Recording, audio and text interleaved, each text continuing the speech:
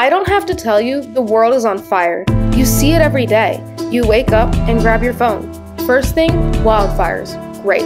You scroll, pandemic, scroll, racial inequality, scroll, scroll, scroll. It never stops. You try to do good, but every day there's another problem like the opioid crisis showing that we're only making it worse. Our banks support lobbyists, not people. Internet usage has a higher carbon footprint than all air travel in the world, and our alma mater's endowment funds the prison industrial complex. It seems like everything we do throws gasoline on the fire. Why? Because we live in an outdated system where powerful companies are considered successful by making huge profits, even if it means harming our society and planet.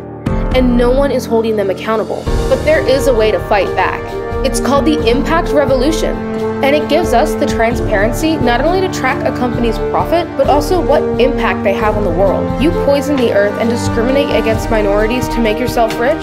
The whole world knows about it. Because in this new world, transparency is the new human right.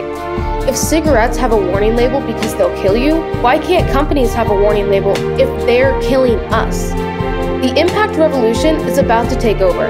Finally, we have the ability and power to put our money into companies that do well and do good. We aren't the ones that started this fire, but we are the ones that are going to put it out.